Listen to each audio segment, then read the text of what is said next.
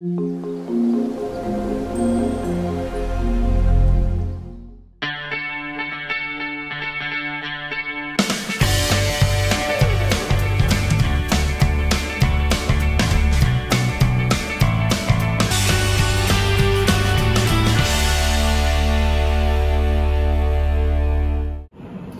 personally been making e-notes for quite some time now.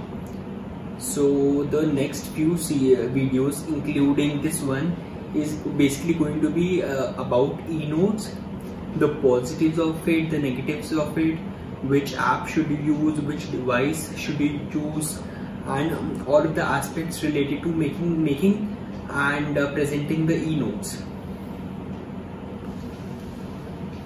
This video is mainly going to be about do e-notes make sense? So I would divide uh, the video into three parts. The first one would be the positives of making e-notes.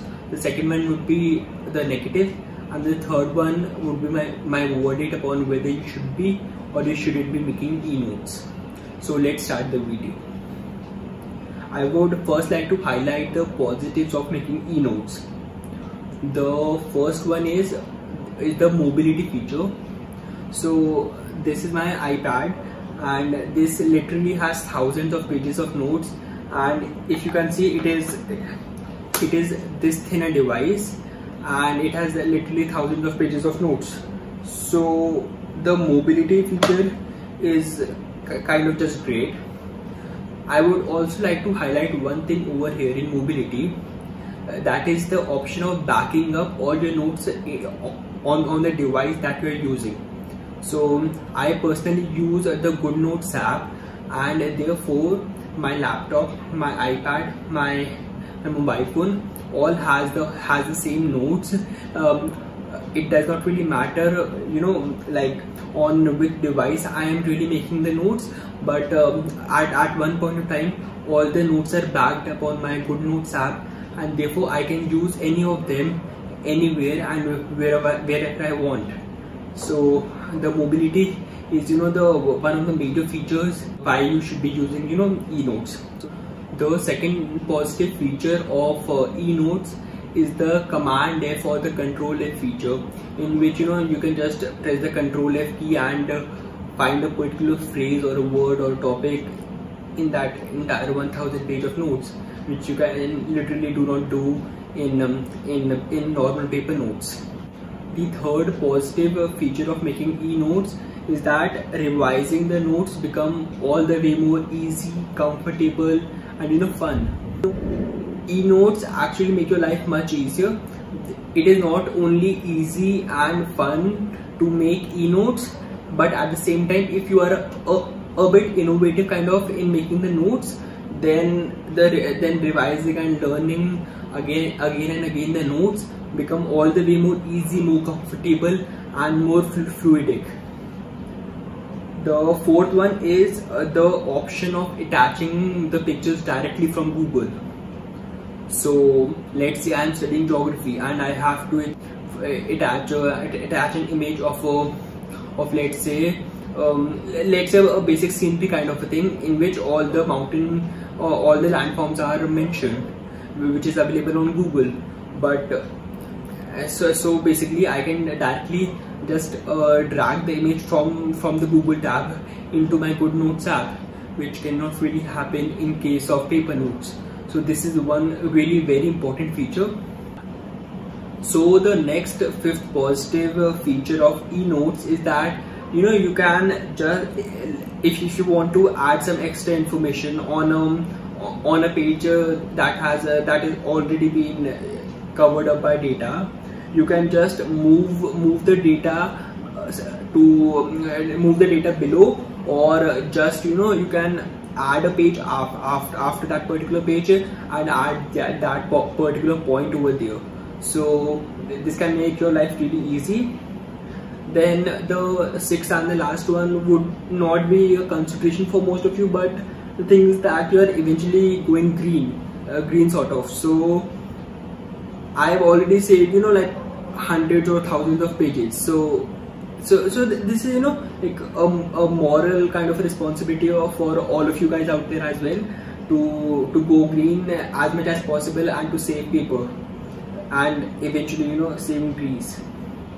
So now I would like to um, share the ne negative point um, of, of making e-notes. The first one is that uh, is this point could be particular particularly for me only but but I would like to highlight it over here. The thing is that my bluetooth device does not connect to connect to the ipad. I, I guess because of this because apple pencil is already connected to the device uh, through through the bluetooth system. The second one is that uh, considering the indian educational you know the criteria and uh, the overall indian education system is that you cannot carry this ipad to your school or make you know just e-notes in, e-notes in your college or school. So uh, this is unlike of what is in the western countries especially us or uk where you have the authority to make the notes online and and eventually going paperless. So this is kind of a drawback kind of kind of a thing. The third one is will be a major factor for most of us. The it is that overall the total cost of this device including uh, including the apple pencil the the keyboard and the ipad itself is quite a lot. So if, if i consider the base version of the ipad with the with apple keyboard and with the apple pencil it will at least cost you somewhere around 50 60k which is quite a lot the fourth negative feature of this device is that the keyboard is not the best I over here I don't uh, really mean the quality of the keyboard. The quality is just uh, is superior to everything available in the market out there. But what I really mean over here is that the even though this is the 12.8 or the 12.9 version, which is I, I, believe the largest one, largest one available right now, the keyboard is, is a bit small and. Uh, thus the overall typing experience is, is not that great and uh, since and since it, it is a bit small the keys are are a bit differently placed than the normal laptop laptop keyboard so it, it could be a, a bit cumbersome to you know just uh, type your notes over here. The fifth and the last negative feature of making notes over here is that is with regard to the ipad. It is it is uh, again with regard to the battery of the ipad. It is not that the battery is not great. The, the battery is spectacular. But the thing over here is that it just takes ages to you know uh, to just uh, charge the ipad you will never run and you will never really run out of charge mm, when you are using this ipad and especially the apple pencil. But the ipad just takes ages if you are charging the device with its original charger that you receive in the box. If you have a fast charger then then your life is um, all the way more easy. But since I, I don't have one uh, though my life is a bit difficult. I'm joking. Mamma mia so by this time you must be clear what my verdict is. If you already have an iPad just go and make notes uh, just go and make e-notes. If you don't have one but if you still can afford like 30 40 or 50k and like you, can you can spend on um, on this device. Just wait, wait for some time. Let the lockdown uh, reopen uh, open up. And uh, you know just wait for some time till, uh, till my overall uh, series of of making e-notes comes out. Watch every video of it. Clearly wait wait for everything. And um, then you'll be clear of which ipad to buy which app to use what are the pro tips of uh, of, of using the good notes app and everything will be covered in it.